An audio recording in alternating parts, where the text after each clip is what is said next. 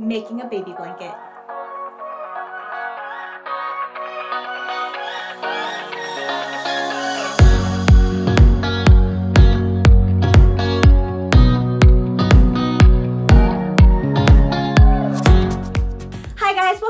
Channel. My name is Tiffany Hansen. Thank you so much for joining me today. In this video, I'm going to show you how to make my Snuggle Me Baby Blanket.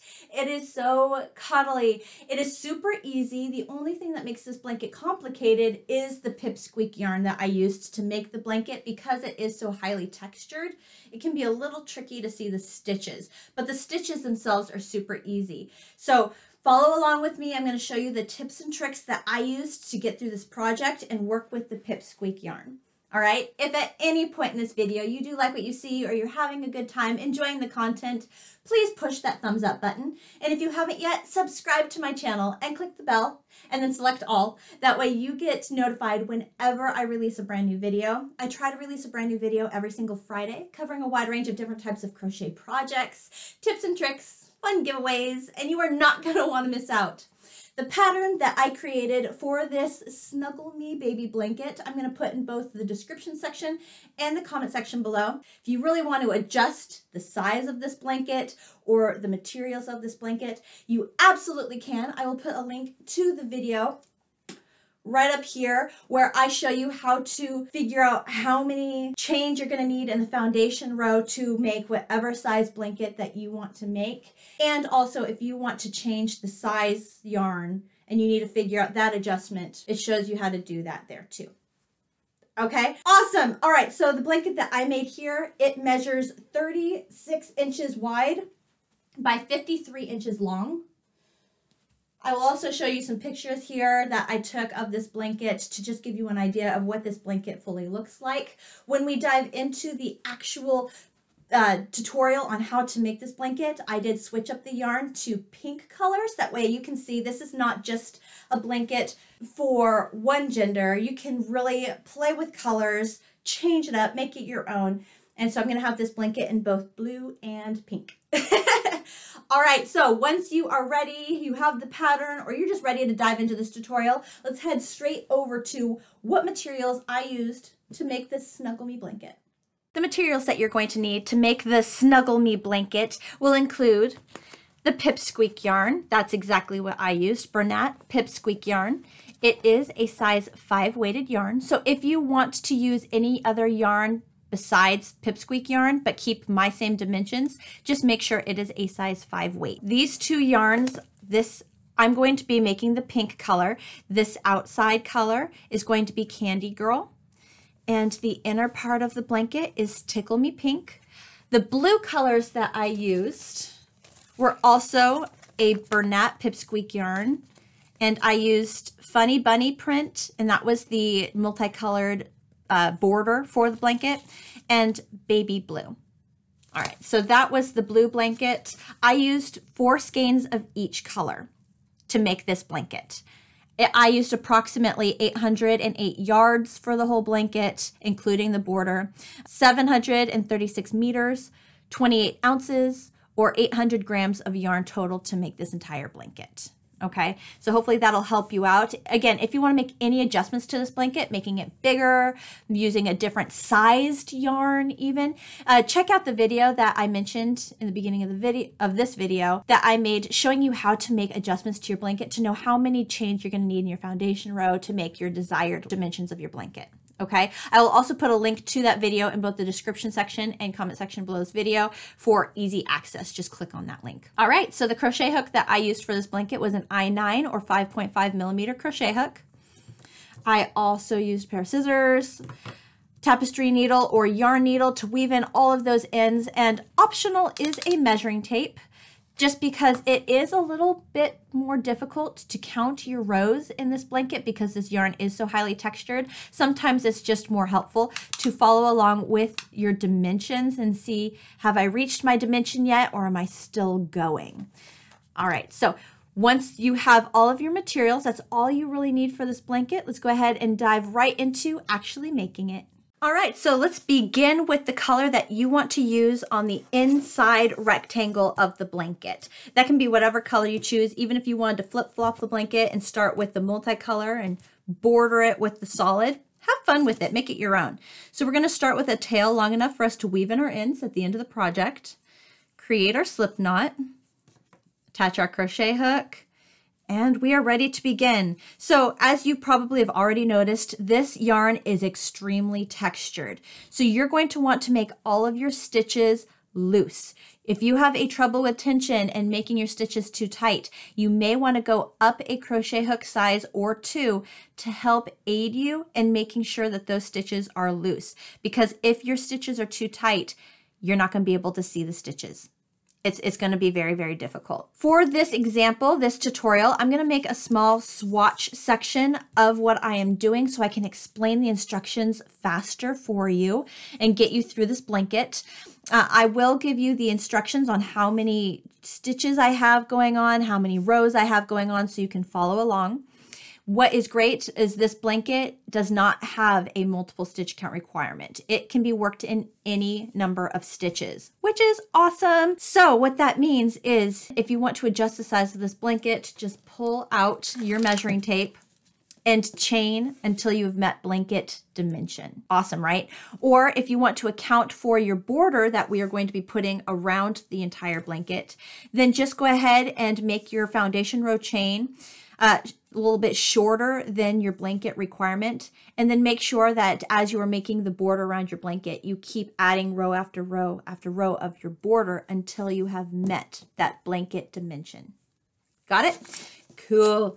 All right, so for the blanket that I made, the inner rectangle, I chained 62 chains. So if you wanna go ahead and start making 62 chains, go for it. I, again, am gonna make a smaller swatch section to get through this pattern faster. So I'm only going to chain 20 chains.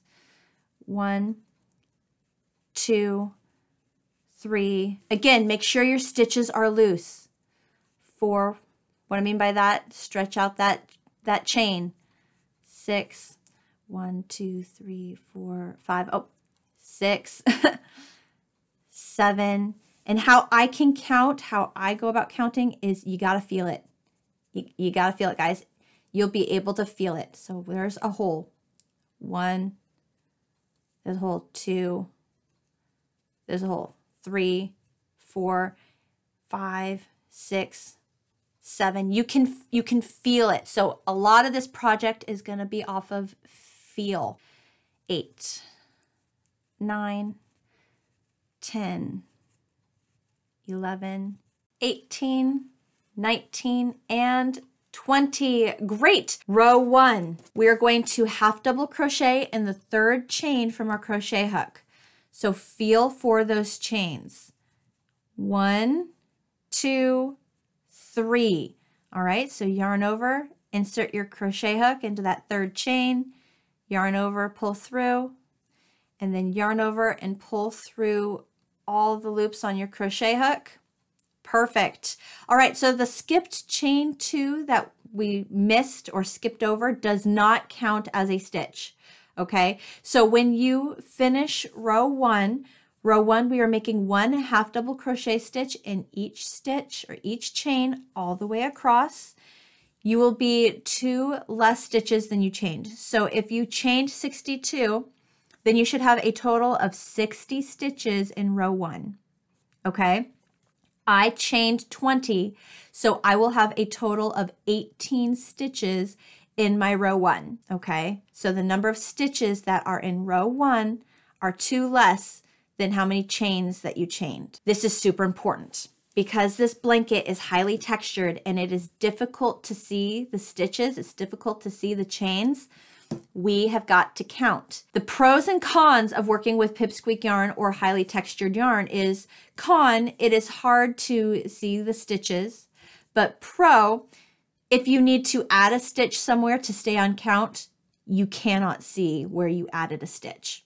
So it's easy to make adjustments, it's easy to make corrections, and you, you won't be able to see it. If you go about your blanket not counting, believe me, your blanket is either going to expand or it's going to in or decrease inward. And if it starts doing that, there's there's no recovery. So you're going to want to count every single stitch of every single row to make sure you're staying on count. It will become repetitive, it will become rhythmic, and you will just fall right into it. But you will notice at the end of a row, if you're one stitch short, you just throw a stitch in there and then you're back on track and nobody will know that you just added a stitch somewhere. No one will know. So how I work my stitches is really a lot of feel. I just, and I will poke my finger through a lot of stitches. That's another reason why working loose stitches is such a big deal. So that was my first stitch chain. So next, right there, I will add a half double crochet. Row one, we're just making one half double crochet in each chain all the way across.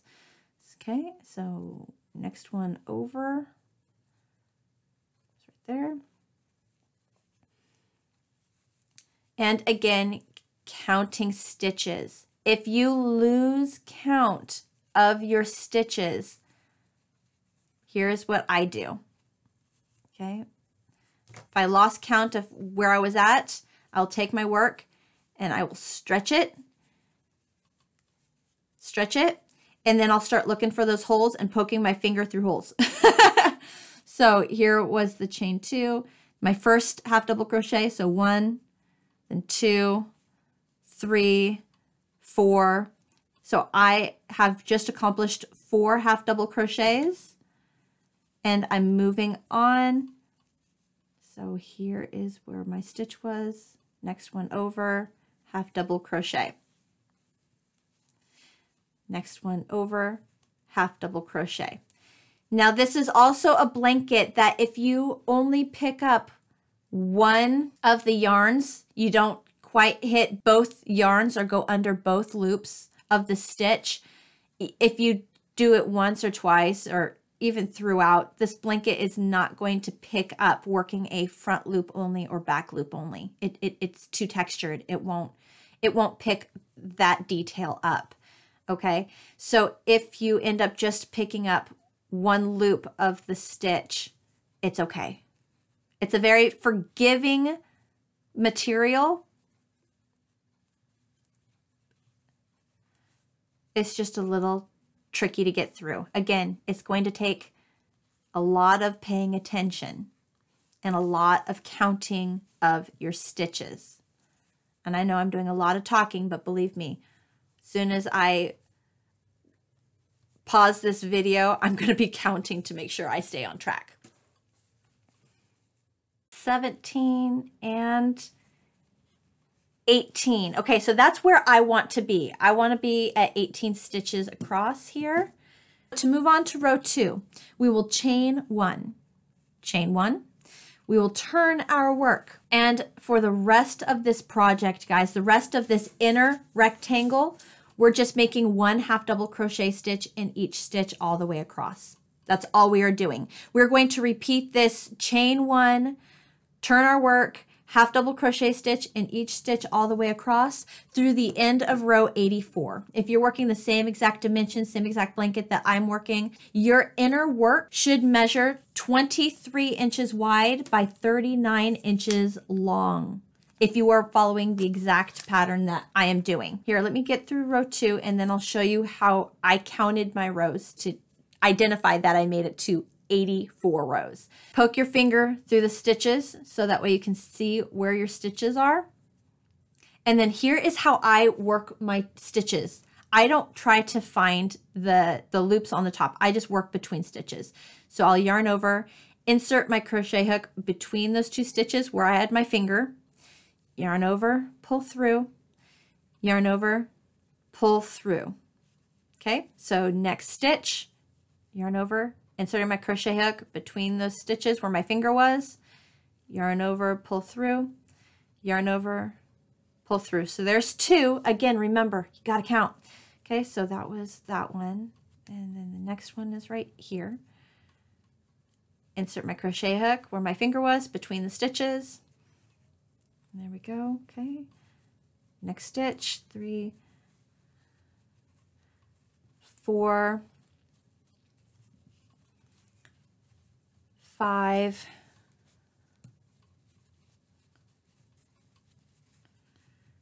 six 17 and oh great. 18 that's right where I want to be. Perfect. Okay you might see a little bit of hangover here. That's fine. Ignore it. It's going to disappear, especially when we throw the border on it, okay? This is what we're looking at at the end of row two. Really solid, right?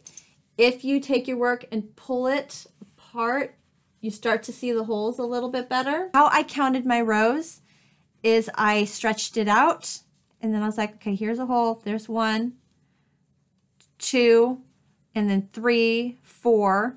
then I'd stop, then five, six, seven, eight. And I was able to do that. If you want to, you can also use a row marker, stitch marker, and put, or even like a small scrap yarn or something, and put a scrap yarn or a stitch marker in the side of each row and then count those as you work up. That's another helpful little tip for you. But that's all we are doing, guys. We reach the end of the row, we chain one, we turn our work, and then we just make one half double crochet stitch in each stitch all the way across. And again, I poke my finger between the stitches and work in between the stitches. Now, if you are one of those people that are super concerned about holes for baby's fingers and baby's toes, and my process, my tip here of sticking a finger between the stitches is concerning you at all, I am really working to get my finger in there, okay? And when the project is finished, this work is very solid looking. So if a baby is going to get a finger in there, they're going to get a finger in any project, okay? It's not one of those projects where it's easy to get a finger in there unless you really push your finger in there with purpose, okay? So go ahead and finish the inner rectangle body of your blanket and I will meet you at the end of your section to show you how I do the entire border around this blanket. It's really cool.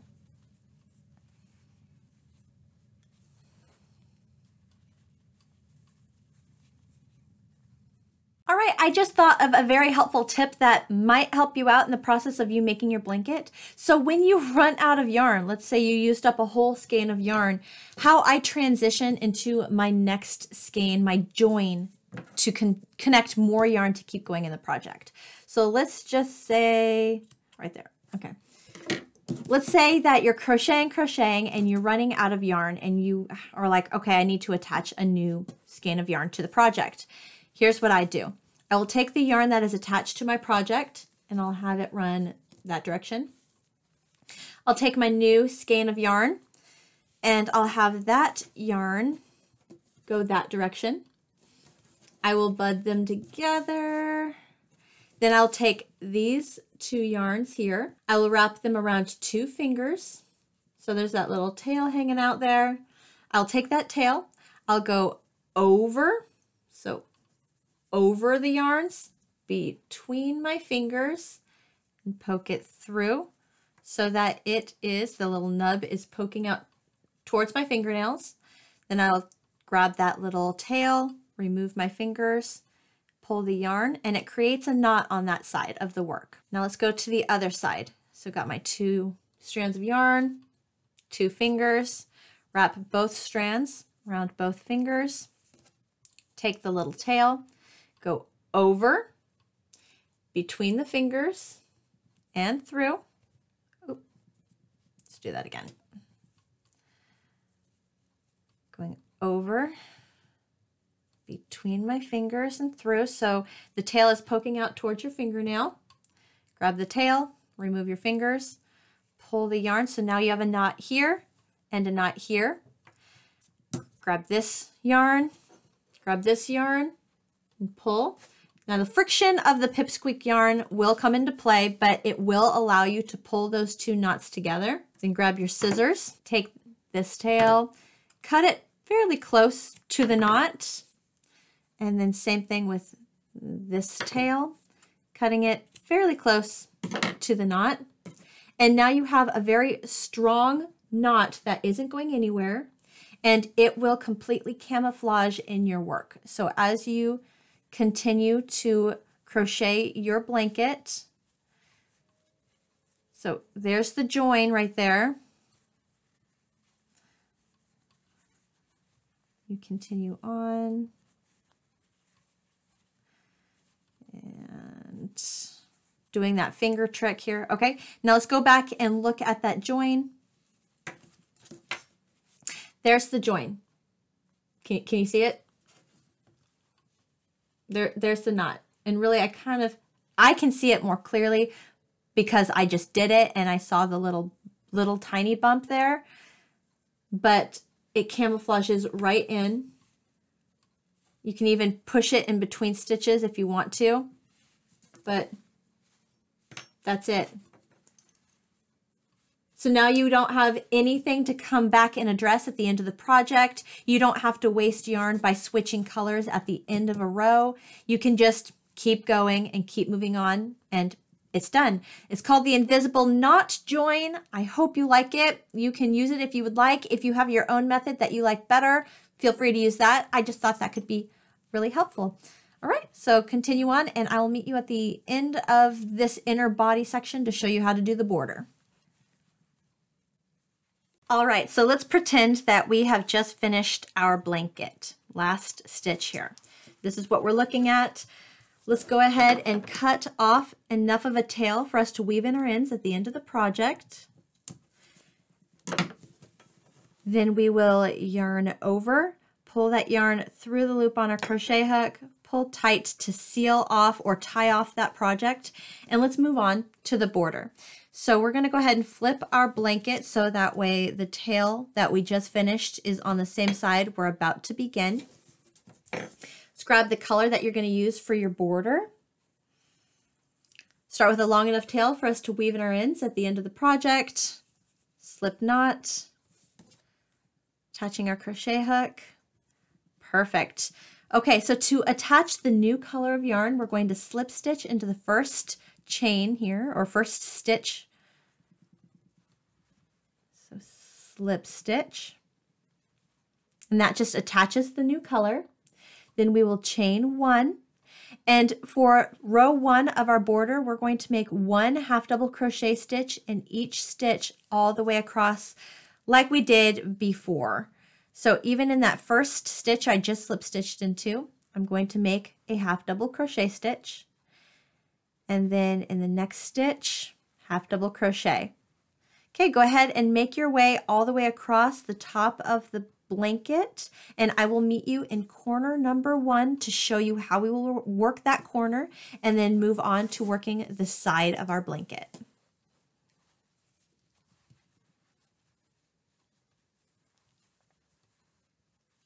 All right, coming upon the very end of the top of our blanket, let's go ahead and count our stitches here. Remember that first chain one does not count as a stitch. Going for that first half double crochet, so one, two, three, four, five, six, seven, eight, nine, 10, 11, 12, 13, 14, 15, 16, 17. Okay, great. I have one more stitch to make for my 18 stitch count. And honestly, that 18th stitch, so 18 will be the last stitch of the top. It's also in the corner. So how we work our corners, after you make the last stitch for the top here, we will chain two, one, two, and then make another half double crochet stitch in that same stitch space. But now, so half double crochet, but now we are set up to start working the side of our blanket. Usually I will make three stitches in the corner, but what I realized is the texture of this stitch, this the texture of this yarn made it really difficult to see those stitches to make sure that I was following along in that corner. So by chaining two, I have a big enough hole here where I can identify, boom, that is my corner. Okay. For the side of our work, we are going to work one half double crochet stitch on the side of each row. So again, we're going to keep working that finger method. So next row down is right here, working a half double crochet stitch. Okay, next row down, half double crochet stitch and just working one half double crochet stitch in each or in the side of each row. Here we go. If you want to count, just keep in mind how many rows we made. If you're making the same blanket that I did, you'll have a total of 84 rows. So you will make a total of 84 half double crochet stitches along the side, starting with that first half double crochet stitch after the chain two. So it'd be one, two, three, four, five. Okay. Going on the bottom of that stitch here, looking at the next row, half double crochet. You can do this. Just pay attention. Use your the finger trick if you need to. Pull your work, stretch it out. If you want to stretch it out to see where the holes are, to see where the stitches are, see where the rows are, I've done that too to help me out and guide you. All right, continue along the side and I'll meet you in corner number two to show you how we will work corner number two and the bottom of our blanket. All right, once we have reached the second corner of our blanket here, you do not want to put anything in the foundation row chain. Okay, so pretend that doesn't exist. We're just going to go into row one. You would easily find this by if you were going 84 uh, 84 rows, you would have counted 84 half double crochets at this point. Another good reason to count. Okay, after we make that last half double crochet stitch, we will chain two to get around this corner. One, two. Turn our blanket. So we are working along the bottom. And then again, working between the stitches, working in that same stitch space, same corner that we already put a half double crochet stitch. Making another half double crochet stitch there. And then we're all lined up to work the bottom. So between stitches next stitch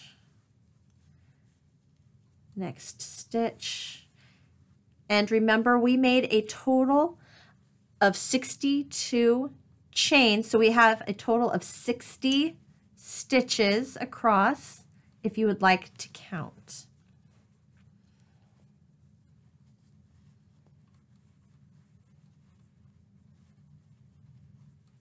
last stitch and then entering corner number three. So for corner number three, we will chain two, one, two, and half double crochet in that same exact stitch, turning our work. So now we are working side number two or the third side, the last side of our blanket. And again, we're making one half double crochet stitch in the side of each row. So using our fingers to identify where the rows are and just working one half double crochet stitch in the side of that row.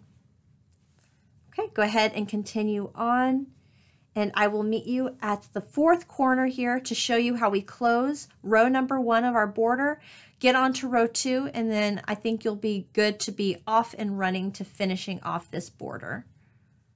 Okay, great. We have just reached corner number four. I'm going to make my first half double crochet stitch right there. What you will notice is in corner number four, there is already a half double crochet stitch in that corner before we even reach it. And that half double crochet stitch was actually the very first half double crochet stitch for this entire round one of the border. So when it comes to the fourth corner for round one, we all we have to do to satisfy the requirements of this corner is half double crochet, chain two, and then slip stitch into the top of that first half double crochet stitch or really just put your finger there and slip stitch into that first stitch to close round one. And here is what we are looking at. What you will notice for the rest of the border is that we are going to be making one half double crochet stitch in each stitch all the way around. The sides are going to be significantly easier to work now because there's already a stitch that we can identify and work with. Every single corner we can identify because it has that chain two, so it'll be very easy for us to figure out, oh, I've reached the corner because you will have reached that chain two section.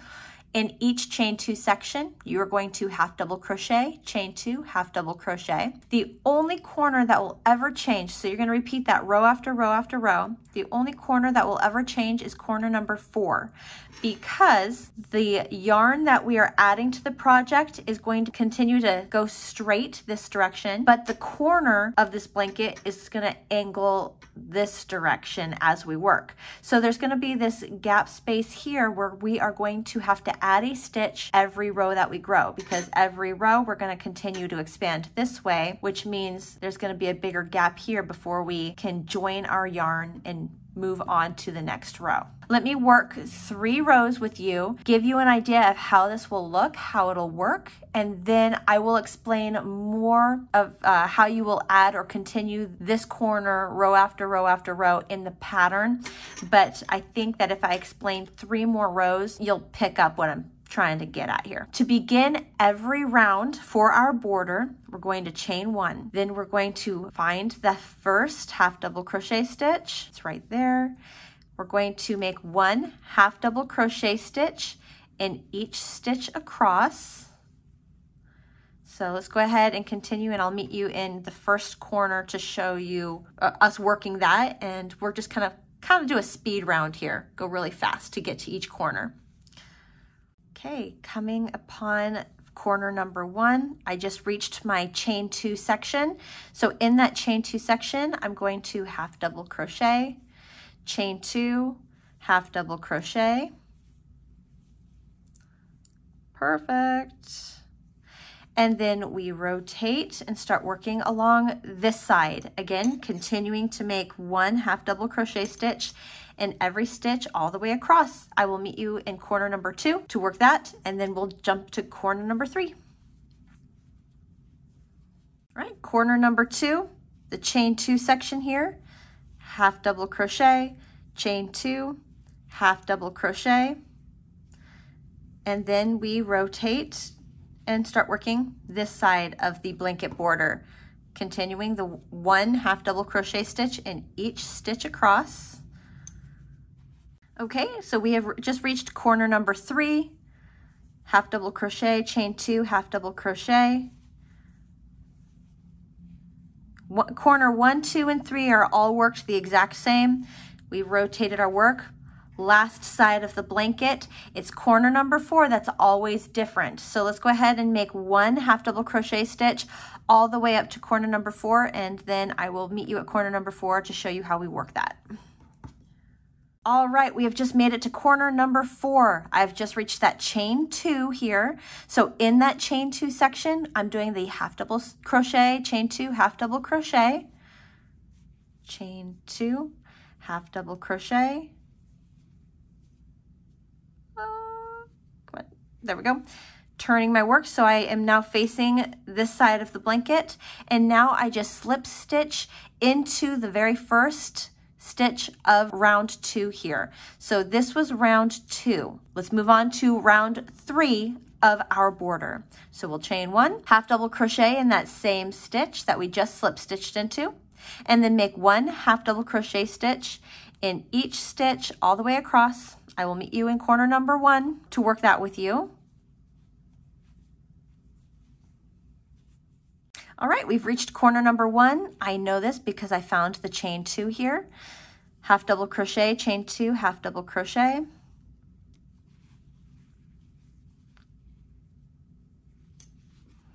And continuing making one half double crochet stitch in each stitch across the next side. Perfect, made it to corner number two here. I know, because chain two, half double crochet, chain two, half double crochet. Great, made it to corner number three, half double crochet, chain two, half double crochet. Great. And then last side of the blanket border. All right, round three, corner four, we're going to find that chain two. In that chain two, we are going to half double crochet, chain two, half double crochet, rotate our work and we will actually make one more half double crochet stitch because if you look to where the join is, there's actually a stitch between. So in round three, corner four, right after we do the half double crochet, chain two, half double crochet, we're going to make one more half double crochet stitch and then slip stitch to close round three.